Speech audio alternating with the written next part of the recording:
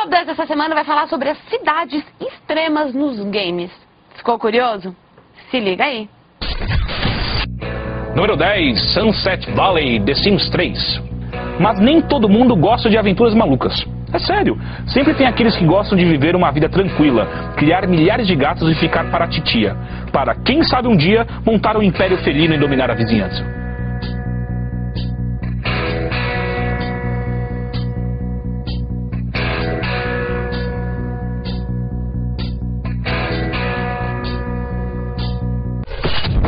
Número 9, Raccoon City, Resident Evil. Por um motivo que ninguém entende direito, Raccoon City é o local para onde todos os zumbis da Terra migram no inverno.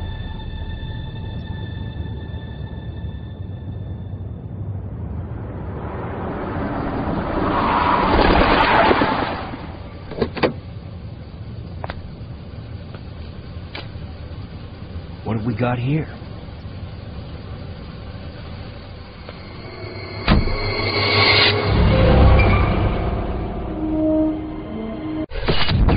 Número 8, Gotham City, Lego Batman. Com o morcegão e seu fiel escudeiro Robin, a cidade de Lego Gotham estará a salvo dos ataques de. Hum, irmãos mais velhos que adoram destruir suas estruturas desmontáveis. From the makers of Lego Star Wars and Lego Indiana Jones comes Lego Batman. When the villains of Gotham City are up to no good. Sometimes the only thing more fun than fighting evil is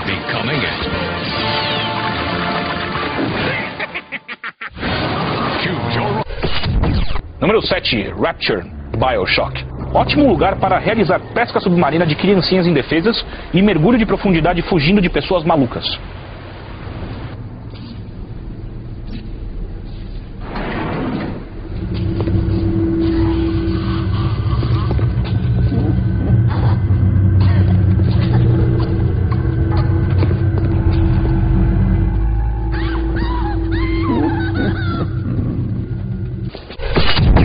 Número 6, Reach, Halo Reach.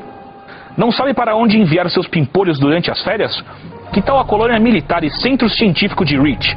Garantimos que seus filhos voltarão saudando a bandeira, qualquer uma que você quiser, acordando às 5 da manhã sem reclamar e ainda servirão de seguranças para a sua casa.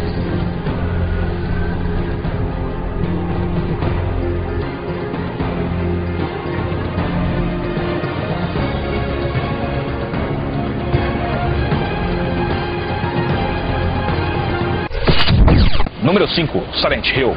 De Silent Hill. Não vá para lá. É simples assim.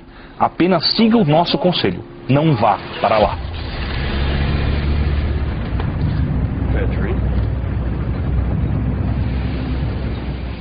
All he looks for is me. Where's Josh?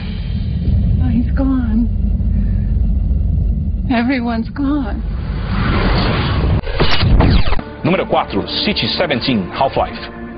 Um lugar onde alienígenas e insurgentes humanos dominados por outros alienígenas, não tão legais quanto os primeiros, vivem em constante desentendimento armado. Lugar agitado.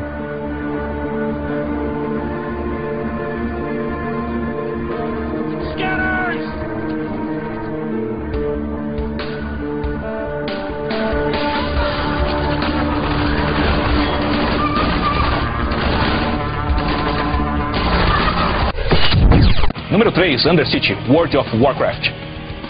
Nada como andar entre as párias da sociedade, guerrear, estripar e saquear para depois voltar para sua casa, que fica em um esgoto.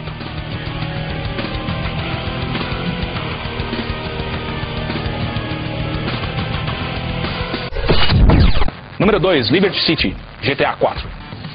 Ok, ok. Sabemos que Liberty City é bem parecida com qualquer outra cidade grande, mas o simples fato de você poder destruir o que quiser, não obedecer leis de trânsito e ainda ganhar dinheiro por isso já faz dela um grande lugar para se viver.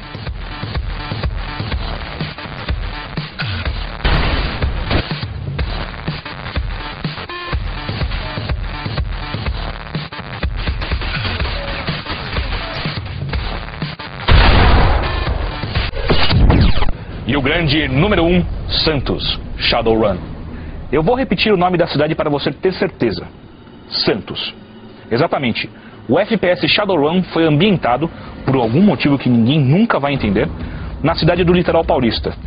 De acordo com seus moradores, a locação foi completamente errada. Afinal, no game não existem prédios inclinados e sem isso, não é Santos.